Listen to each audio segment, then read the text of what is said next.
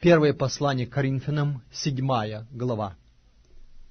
«А о чем вы писали ко мне, то хорошо человеку не касаться женщины. Но в избежание блуда каждый имеет свою жену, и каждая имеет своего мужа. Муж, оказывай жене должное благорасположение, подобно и жена мужу. Жена не властна над своим телом, но муж. Равно и муж не властен над своим телом, но жена. Не уклоняйтесь друг от друга, разве по согласию, на время, для упражнения в посте и молитве, а потом опять будьте вместе, чтобы не искушал вас сатана невоздержанием вашим.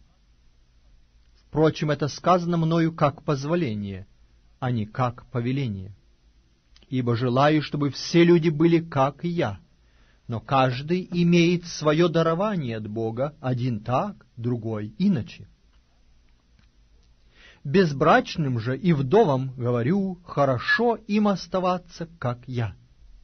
Но если не могут воздержаться, пусть вступают в брак, ибо лучше вступить в брак, нежели разжигаться. А вступившим в брак не я повелеваю, а Господь. Жене не разводиться с мужем. Если же разведется, то должна оставаться безбрачною, или примириться с мужем своим, и мужу не оставлять жены своей. Впрочем же я говорю, а не Господь.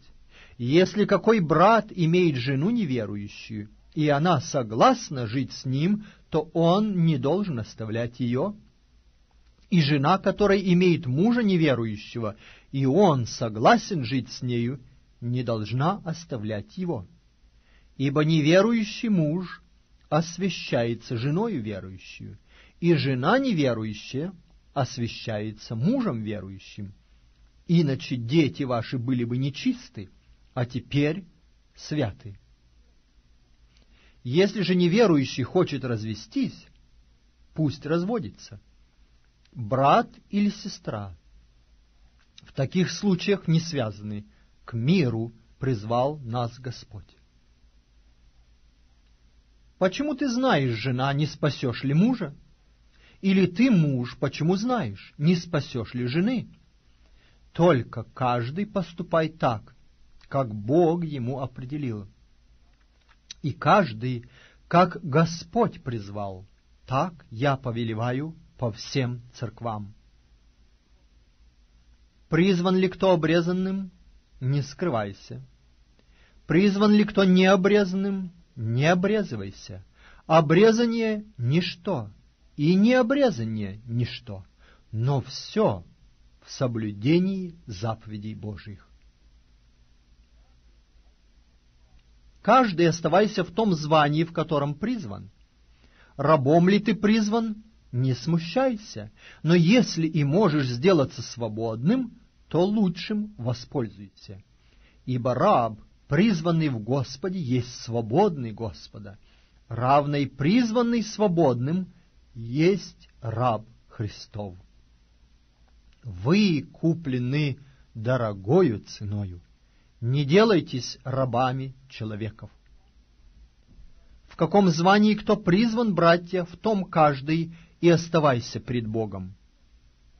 Относительно девства я не имею повеления Господня, а даю совет, как получивший от Господа милость, быть Ему верным.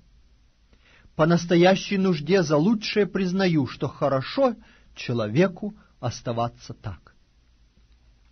Соединен ли ты с женою? Не ищи развода. Остался ли без жены? Не ищи жены. Впрочем, если и женишься, не согрешишь. И если девица выйдет замуж, не согрешит. Но такие будут иметь скорби по плоти, а мне вас жаль. Я вам сказываю, братья, время уже коротко. Так что имеющие жен должны быть как не имеющие, и плачущие, как не плачущие, и радующиеся, как не радующиеся, и покупающие, как не приобретающие, и пользующиеся миром этим, как не пользующиеся, ибо проходит образ мира сего. а я хочу, чтобы вы были без забот. Неженатый заботится, заботится о Господнем, как угодить Господу, а женатый заботится о мирском, как угодить жене. Есть разница между замужнею и девицею. Незамужняя заботится о Господнем, как угодить Господу, чтобы быть святою и телом, и духом, а замужняя заботится о мирском, как угодить мужу. Говорю это для вашей же пользы, не с тем, чтобы наложить на вас узы, но чтобы вы благочинно и непрестанно служили Господу без развлечения. Если же кто почитает неприличным для своей девицы то, чтобы она, будучи в зрелом возрасте, оставалась так, тот пусть делает, как хочет, не согрешит. Пусть такие выходят замуж. Но кто непоколебимо тверд в сердце своем, и не будучи стесняем нуждою, но будучи властен своей воле, решился в сердце своем соблюдать свою деву, тот хорошо поступает. Посему выдающий замуж свою девицу поступает хорошо, а не выдающий поступает лучше. Жена связана законом, доколе жив муж ее. Если же муж ее умрет, свободно выйти за кого хочет, только в Господе. Но она блаженнее, если останется так, по моему совету. А думаю, и я имею Духа Божия.